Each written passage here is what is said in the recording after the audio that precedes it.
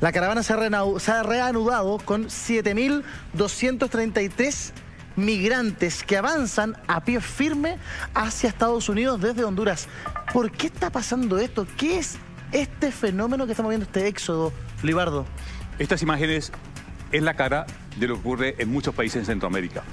Países sumidos en la pobreza extrema.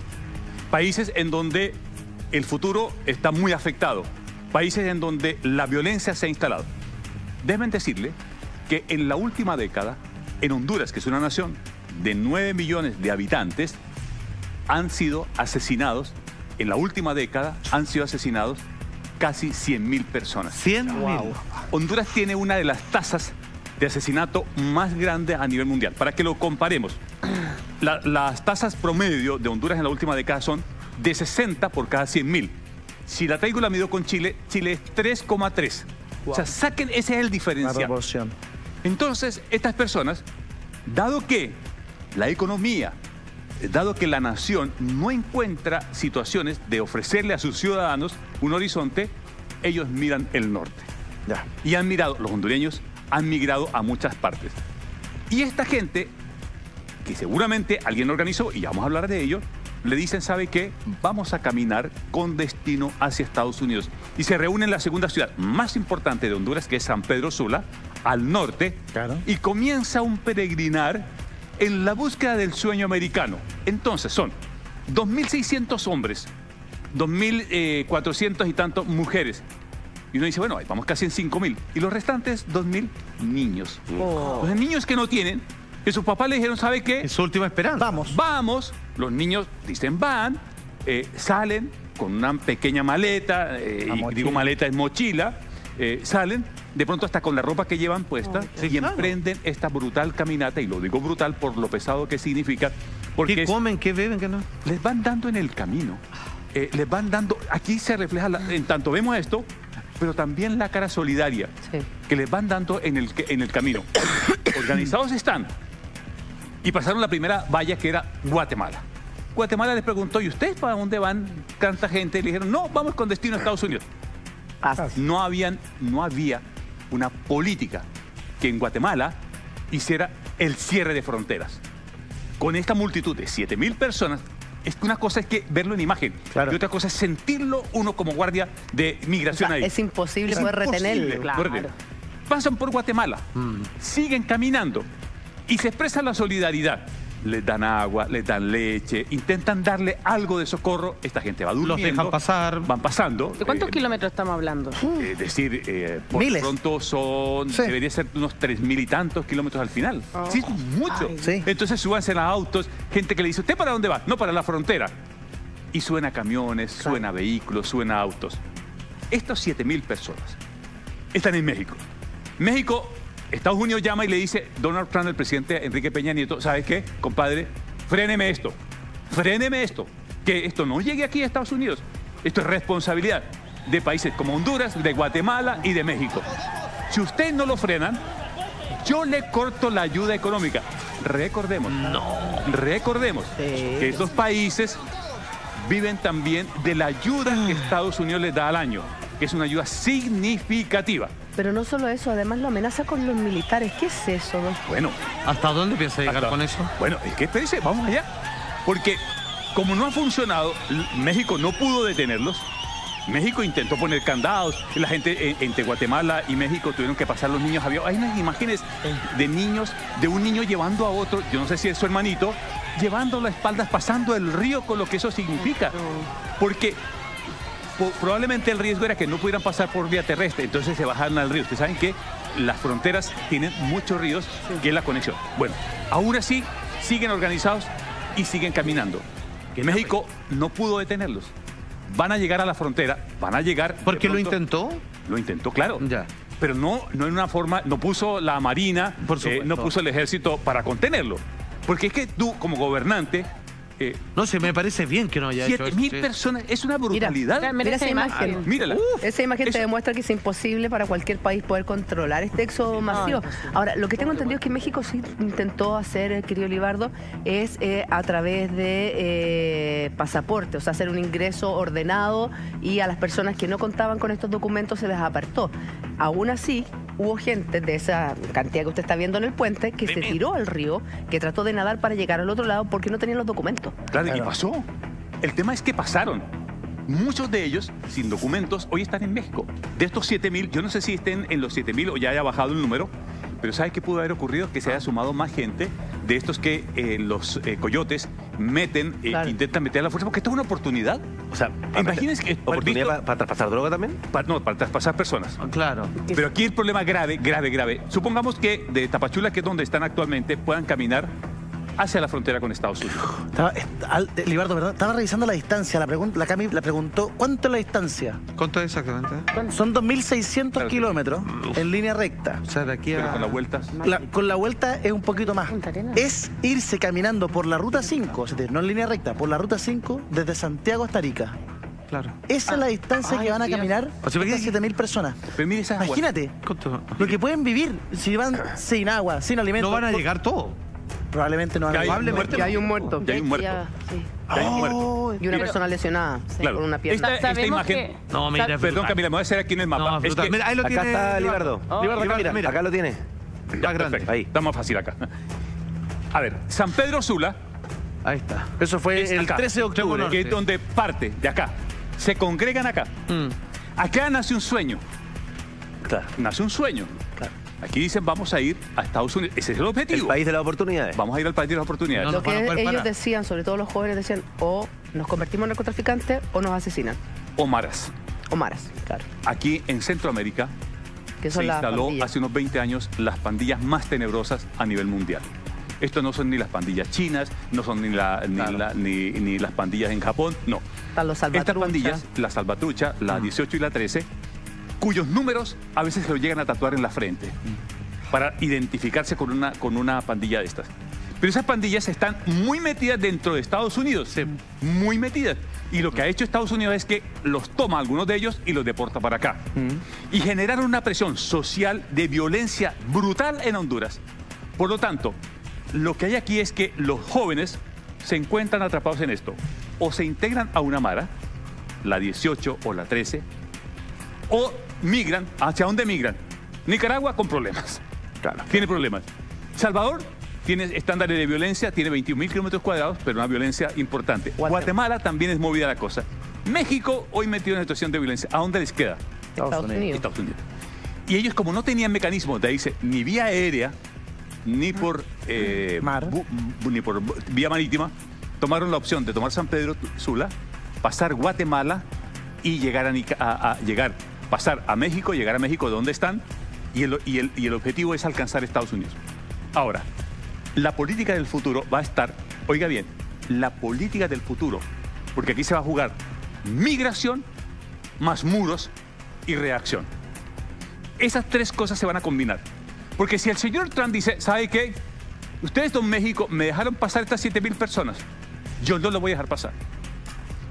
Para que Donald Trump no los deje pasar, significa que para contener 7.000 personas, tú tienes que poner un contingente por sobre los 20.000. Por sobre los 20.000. O sea, tiene que mover un ejército como si estuviera en guerra, casi en guerra. Ah, mueve, la Guardia Civil, puede ser un. Porque la, la, patrulla fronteriza, que es la que se encarga de, controlar esto, no da abasto con eso. no daría abasto. Para, esa magnitud de personas, claro. Pero a mí cuando Donald Trump dice voy a sacar a los militares, es como que va a ir a matar. Sí. ¿Es eso? ¿O, soy yo la que está interpretando eso? es como si alguien es como si alguien intenta cruzar mi línea eh, sin autorización, yo voy a disparar. Lo que Trump está diciendo, le está diciendo al mm. elector, él está conversando al elector. el, señor que está en Nueva York y la señora que está ahí en Washington viendo la televisión y ve esta marcha que va para allá, necesita que el gobierno le diga algo. Bueno, claro. Pensemos, Ahora, pensemos en el elector. Hay niños muertos en este enfrentamiento, porque va a haber Históricamente esto nunca ha terminado bien, a uno se le va a arrancar algo, o sea... Van a haber situaciones de violencia. habíamos estado en una situación de esta envergadura. Si es que no hemos estado acostumbrados a estos flujos. Claro, pero si Trump dice, voy, si Trump dice, voy a armar, si Trump dice, voy a armar la frontera, voy a armar la frontera, voy a llevar, voy a llevar el ejército, voy a llevar militares y llega esta horda de personas que, que salga a control. Que intenta entrar, que no van a golpear la puerta y decir, ¿puedo pasar? Van a querer entrar. Lo que hicieron en Guatemala, lo que, van lo que va a pasar en México. Van a querer entrar. Pero eso es disuasión. ¿Se puede disuadir sin disparar? No lo sé. es que, la respuesta va a estar en lo siguiente. qué tipo de presión que es tan fuerte la que en este momento se está desarrollando sobre México. A ver qué tipo de cosas hacen. ¿Qué es lo óptimo para Trump? Que la gente de aquí se devuelva. Ya, que México frene esto. Que México frene y que México diga, ¿sabe qué más? Que ustedes vienen unos camiones, vienen unos buses y todos los 7.000 los embarco y los regreso. Para Estados Unidos sería lo óptimo. Para México también. Pero supongamos que eso no rinde, que eso no avanza y que finalmente las 7.000 personas llegan acá. Llegan a la frontera. El inspector Vallejo saca a, colación un tema relevante. En algunos momentos se produjo eh, un éxodo masivo de Cuba hacia Miami, sí. pero solamente afectaba a dos partes. Y esta parte le interesaba que la gente que saliera aquí llegara acá. Pero esta parte hoy no le interesa que esta gente que salió acá llegue acá. Sí. Es que estamos en un momento histórico distinto. ¿Se sabe por dónde podrían entrar en Estados Unidos? ¿Cuál es la frontera más óptima para ellos? Eh, puede, ser, eh, puede ser por Tijuana, por, por este lado, sí, por acá. Mucho más lejos. por Tijuana. Sí. Mm. Y Lo que fue territorio de México algún día. Claro. Ahora, pongámonos, pongamos, es que nosotros a veces no empatizamos con Trump, porque el personaje es raro, extraño, pero pongámonos, Trump está en su oficina y dice, ¿por qué yo tengo que recibir las 7 mil personas? ¿Por qué a mí me transfieren el problema? Eso es, o sea, ¿Por qué yo tengo que tener el problema? Y entonces viene un problema más global. América Centroamérica, que es, que, es, este conjunto de naciones, mm. constante y permanentemente desde el año 40 le provoca éxodo de migrantes hacia los Estados Unidos. No es nuevo. Salvadoreños, guatemaltecos, mexicanos, nicaragüenses, panameños, cubanos y todas estas cosas, le provoca un gran flujo que, ha sido normal y aceptado. Pues, Pero lo que no se había visto es un flujo desde deliberado, de marcha, que lleva las cámaras de televisión detrás ¿Quién, puede ser el posible que está detrás de esta organización de esta marcha? Porque yo creo que no se armó así como así. Mira. ¿Quién puede estar detrás de que Donald Trump hable de conspiración al menos. Carepano, pero bueno. Es que, es que hay que empatizar un también un poquito con Trump. Eh, en el sentido en que Trump, tuvo que haber llamado al secretario de Inteligencia, al secretario de Estado, tuvo que haber llamado a todo el mundo, a todos los expertos de inteligencia. Explíquenme, ¿cómo se díganme díganme a mí, que es el que me toca que poner la cara, dice Rand, de por qué me llegan, me vienen estos 7.000 personas hacia Estados Unidos. Que de los 7.000, muchos pueden ser honrados, muchos pueden ser niños de familia buscando el bien para, para su familia, pero muchos también delincuentes, traficantes. Imagínate todo lo que puede llegar y porque al final estoy pasando la mala, si por la buena, imagínate toda la cantidad de drogas que pasan a un país, imagínate por la mala todo lo que pasa. En, en, tu, en tu análisis, eh, la pregunta es si yo estoy en México votado y no he podido pasar con los coyotes y yo veo esta marcha, yo me voy a la marcha. me meto a la Entonces, ¿qué es lo que piensa Trump? Dice, ¿quién organizó la marcha? Ah, ¿Quién le dijo a estas 7.000 personas ¿sabe qué? vámonos para allá fue espontáneo. Porque no es espontáneo. Efectivamente no fue que una señora salió con un bolso con todo y dijo, un barrio y le dijo a la comadre, oye, Carmencita, ¿sabe qué? Nos fuimos para Estados Unidos. No, es esa cosa no es así. ¿Ah? Eh, dígale, eh, traiga los cabros y nos fuimos para Estados Unidos y, pasaron por donde la marujita y la marujita le dijo al perrito y el perrito al carrito y el carrito y nos sumando. Como Forrest Gump, que fue sumando gente. No, no, no, no, no, no. Entonces la teoría de la conspiración hay dos grandes teorías. A ver. A ver. Una que dice que eh, en Centroamérica le dieron mucha plata a, los organizadores de esta marcha para sacar del foco del radar la atención del éxodo de venezolanos. Que no es mala teoría. Que también es grande. No, es, mala teoría. Porque estamos preocupados de la crisis humanitaria de Venezuela hoy. No, pues. No, pues nada, estamos ocupados de esto. Plano. Sí. Claro. Y fíjese que la crisis de Venezuela es mucho más que esta. Más grande, claro. ¿Y quién le habría dado la plata entonces? ¿La misma Venezuela? La misma, ¿Maduro? Hablan ahí de que Maduro y que algunos se hubieran movido por ese bloque. Eso están diciendo uno. Ya. Los otros dicen es que bandas de delincuentes centroamericanos, para poder seguir adelante con su negocio, les mandan hacia Estados Unidos esta gente. Váyanse, sabe que allá está la tierra prometida. Vaya. Entonces, empaticemos también con la gente que va en la marcha me dice con, con, Camila, como dice, con la gente buena. Yo veo los desgarradores rostros de, de, abuelas, de abuelas. Mm. Yo, yo, veo estas abuelas. Van a llegar, Yo veo estas abuelas eh, que no tienen nada, que de pronto llevan a su nieto. Una señora que ayer se perdió a sus dos hijas, tenía casi 80 años, iba caminando, se había perdido a sus dos hijas y con una foto mostraba la foto de la hija. Mujer embarazada. Renata, ¿qué hace esa niña? ¿Qué hace esa señora? para decir, ¿sabe qué más? Vale la pena caminar, porque mm. algo le hace sentido, fuera de los organizadores. Alguien organizó esta marcha, sin duda. sin duda, alguien organizó y Estados Unidos, yo no tengo el, sistema de seguridad que tiene Estados Unidos para investigar quién les organizó esta marcha. Pero aquí hay una organización, evidentemente, es una organización. Pero nos plantea de fondo el otro tema. Mm. Y es el tema de la migración. Mm. ¿Han escuchado ustedes al secretario de la OEA y a la comunidad internacional defensores y promotores de las libertades individuales y de todo, una preocupación respecto a esto? Es que le transferimos el problema a Trump nada más. Claro. Mm. Solamente Trump. Oiga, don Trump, usted tiene que hacerse cargo. Pero espere ese momento. Para allá van, hágase cargo. Para allá van, hágase cargo. Entonces, el mundo, en esta hipocresía de estos tiempos, mm. porque es una cara hipócrita, decíamos, hay 60 millones de seres humanos que están buscando un destino en el mundo. Y yo siempre le enseño a mis alumnos que la migración es de dónde me alejo y a dónde me acerco. Oigan bien esa frase, Germán. De dónde me alejo y a dónde me acerco. Me alejo de los problemas de inseguridad, de la falta de oportunidades, de que no me puedo educar, que no tengo salud, que no tengo sueños, que no... Yo me alejo de eso. ¿Y a qué me acerco? A que ni siquiera soy yo, es que mis hijos y mis nietos puedan tener una oportunidad. ¿De a qué me alejo y a qué me acerco? La migración hoy, a nivel global, si, si tomáramos el mapa de la globalización, dijéramos, tomemos el mundo, hay 60 millones de personas. Hoy, que si tú le tocas, le dice, usted señor, con esta maletita se puede ir a Alemania, a Francia, a Chile, a Brasil. La gente dice, yo me voy. Sí. Mm. Pero no hemos llevado, no hemos llevado en la importancia que significa la migración a nivel global, que son países que se están desvaneciendo porque no han podido. África, en los próximos 20 años, ¿Ya? va a aportarle al mundo una, aproximadamente unos 100 millones de personas migrantes. Es decir, esto es la apertura de la migración. Claro. Uno dice, ah, no nos preocupemos, fíjese que la migración de África es una migración negra, para decirlo como corresponde, va a Europa. Que la tía Angela Merkel, que Macron, que el Papa, que fulano de tal, se encarguen de esa migración. Y ocurre que no hemos visto el origen de los problemas que tenemos en la región asiática, en África y nosotros menos nos hemos encargado de América Latina. Mm. Cuando Venezuela le ofrece 4 millones de migrantes al continente, al continente, mm. Brasil, Chile, Argentina, Colombia, Colombia. Que Colombia las cifras se, se, distorsionan mucho porque muchos colombianos, millones de colombianos fueron a vivir a Venezuela. y hoy están, saliendo. Entonces, claro, los colombianos ven millones de personas, pero en las millones de personas están venezolanos, pero también familias de Colombo venezolano. Entonces, esta migración, esta caravana, esta caravana que va desde Honduras con destino a Estados Unidos, y la pregunta es, cuando estén en la frontera, ¿qué va a hacer Trump? ¿Va a decir Trump, ábrase la puerta o ciérrese la puerta? Porque se atraviesa con otra variable. ¿Cuál? Estamos en las elecciones de noviembre.